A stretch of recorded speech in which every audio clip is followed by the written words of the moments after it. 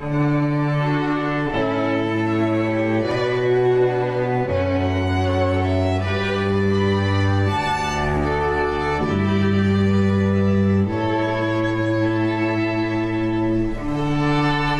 Tech Hawaii. Civil engagement lives here.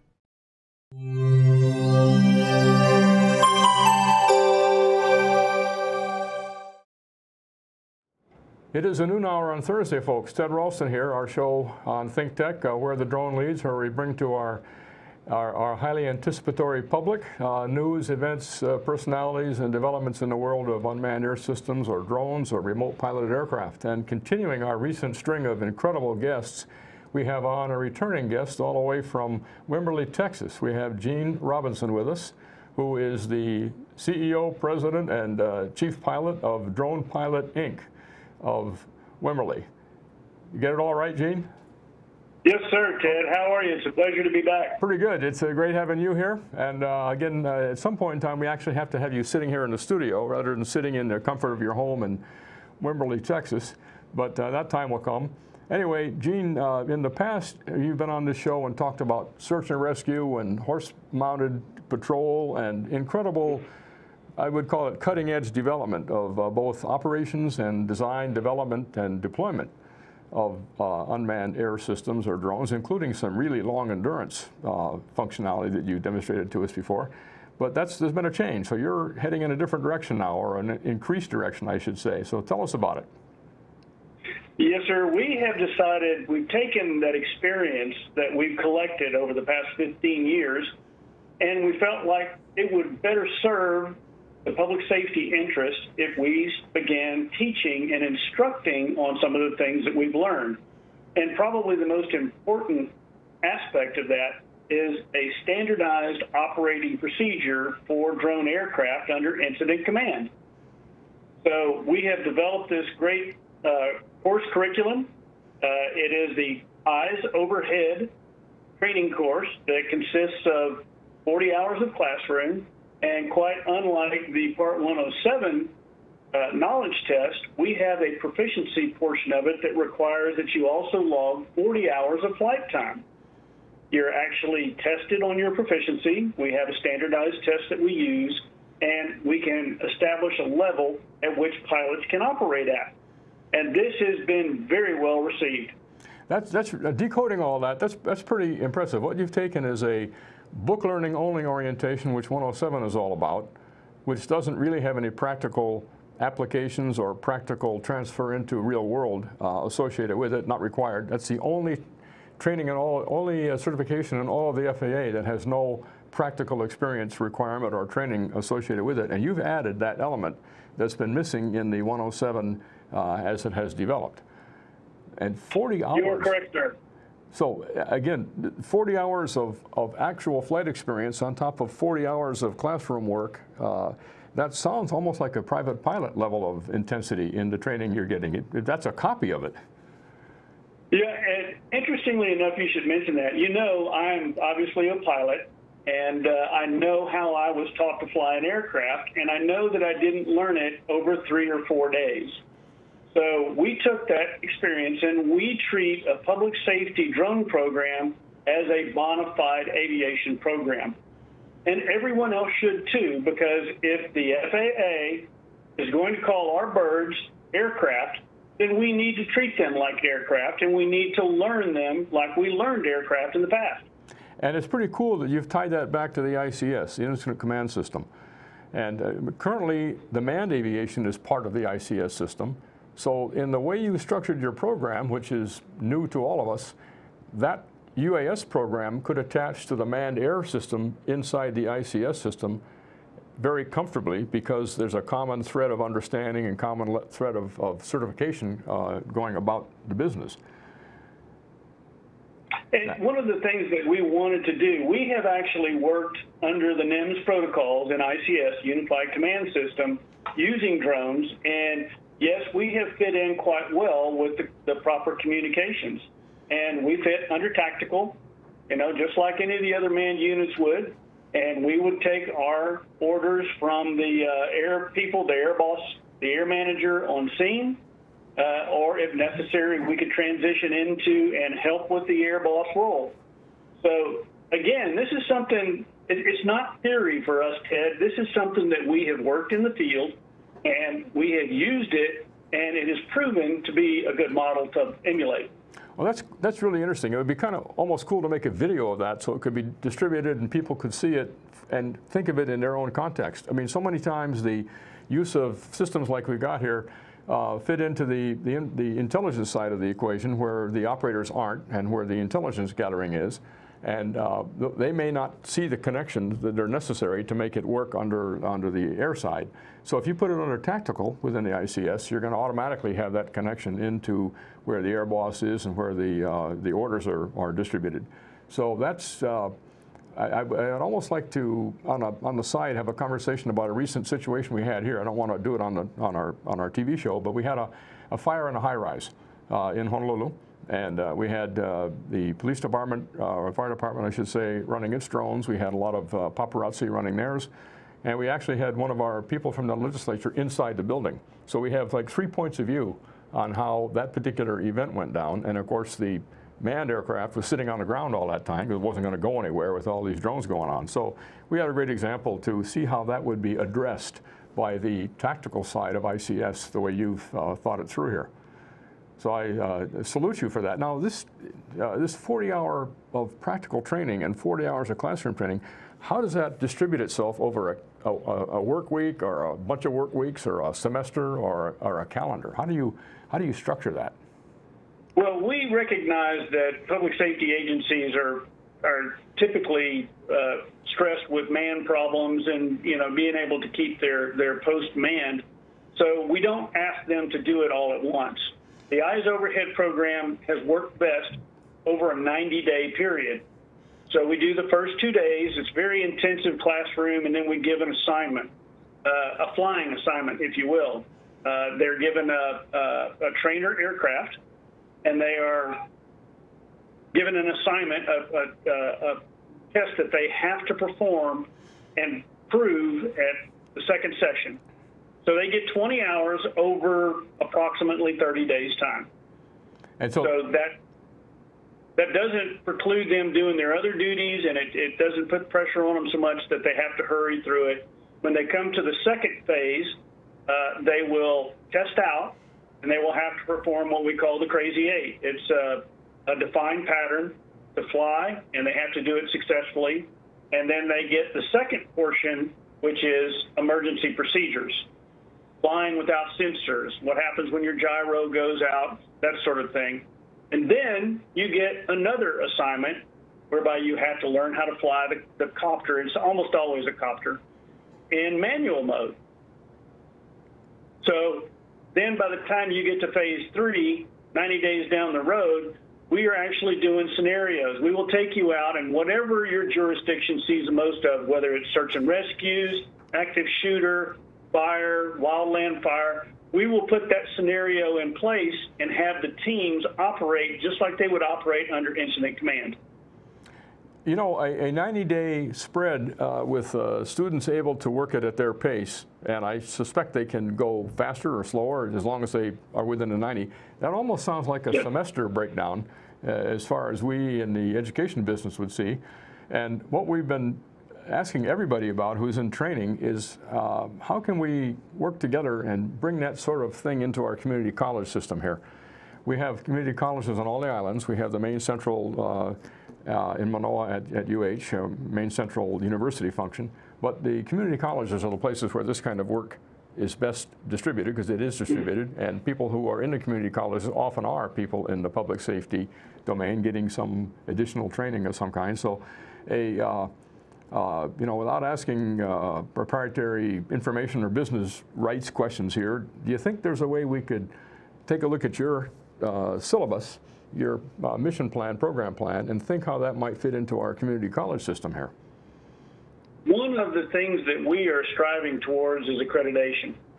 Uh, and much like the red card is available for wildland firefighters, we want to be able to do the same thing for drone pilots uh, having a community college accreditation like that would certainly be something that we would we would, we are striving toward and we consider. And there is it, it's no mistake that it does sound a lot like a semester course because we had kind of tailored around that as well. So uh, we're just waiting for the right partner. And uh, could it be U of H? never know. Okay, well, that's uh, certainly something we'll uh, talk about uh, among ourselves. In fact, tomorrow, this is actually going to be a big subject tomorrow. Tomorrow, we're doing a, a first ever boot camp at the university. It's a holiday in Hawaii, but uh, I think we had it limited to 65 people. But people who have drones are encouraged to come on down, sign up, and we'll go through some boot camp type work. Basic, very simple uh, understanding of what the rules are as a starter, and then examine the individual people who bring their equipment in terms of uh, their knowledge of putting things together and their knowledge of what it takes to get into the air and get out. Uh, however, it's going to be with 65 people in four hours. We're not going to have much personal attention, but uh, that, that does bring to the to the point that the issue that you have uh, so nicely put here. It's not the normal operation that matters. Everything when everything's working, that's great. It's when it's not working right. A sensor's missing, GPS missing, you lost the north seeker, or the wind's very strong.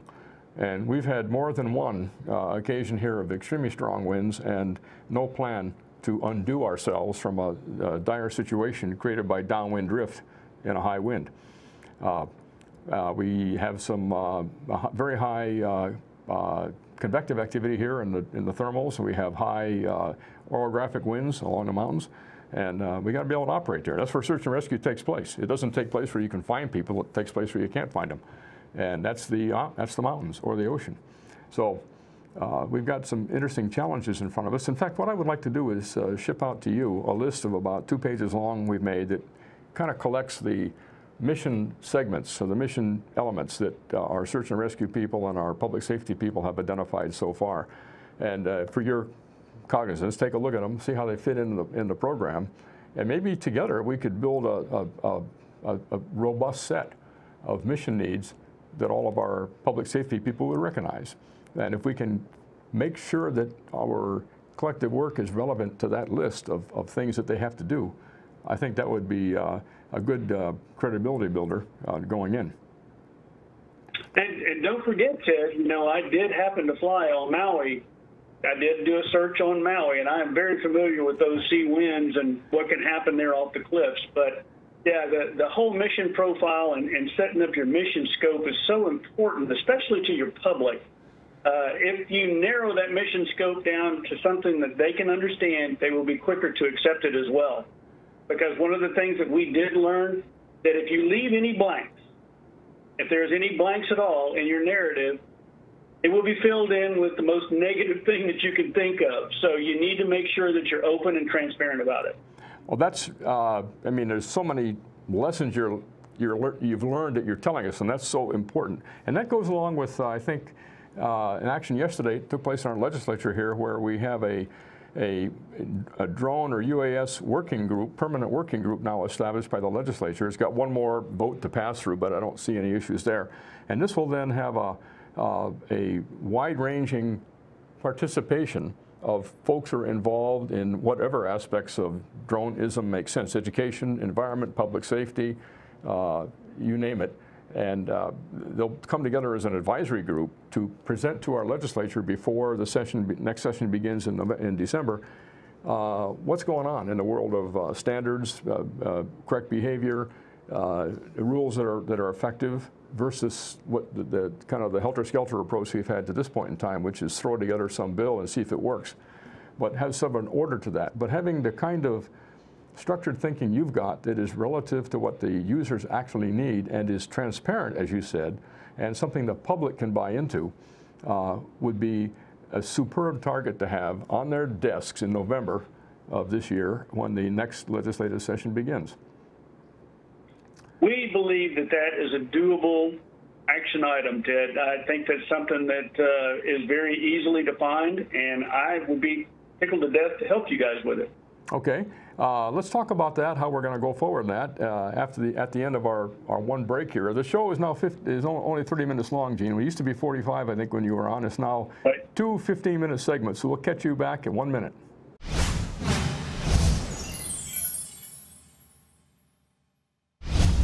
Yeah, this is, this is uh, uh, how do you... Good afternoon. My name is Howard Wigg. I am the proud host of Code Green, a program on Think Tech Hawaii.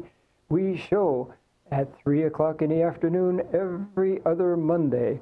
My guests are specialists, both from here and the mainland, on energy efficiency, which means you do more for less electricity and you're generally safer and more comfortable while you're keeping dollars in your pocket. Hi everyone, I'm Andrea Gabrieli. I'm the host for Young Talents Making Way here on ThinkTech Hawaii. We talk every Tuesday at 11 a.m. about things that matters to tech, matter to science, uh, to the people of Hawaii with some extraordinary guests. The students uh, of our schools who are participating in science fair. So Young Talents Making Way every Tuesday at 11 a.m. only on ThinkTech Hawaii. Mahalo.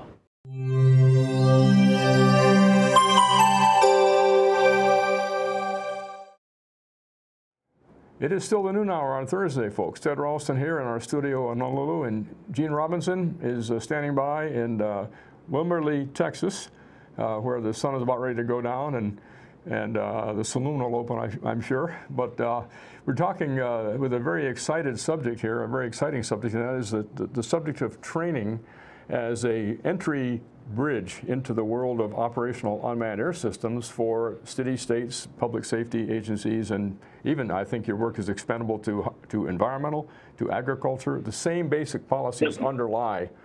So uh, in, in, the short time we have on this show, we're not going to be able to get it all talked about, but uh, the means of uh, what we were talking about at the break is the means of taking what you've done, this structure you've got, which is so much better than these uh, on these, you know, just 107 courses, and, and, and is, is, since it's based on operations with operational people, it's going to have a lot of actual relevance. Uh, taking that, the fact that that training exists and getting it, getting it uh, agreed to and bought into by the counties and by the, the, the cities, the tribes, as the case may be. Uh, tell us how that's going. Well, it, we weren't prepared for the explosive growth that we saw as the word got out that we were training proficiency and we were doing scenario based training and we were being completely open about it and we have a complete public information package, it took off on us and it took off very quickly.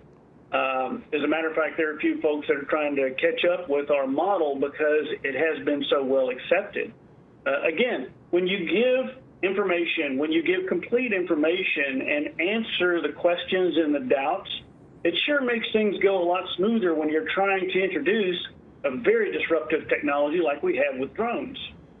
So this has been a proven way to get these processes in place at our county level, which does cut across so many different disciplines. It, it cuts across IT, GIS, health and human services, environmental, law enforcement, fire.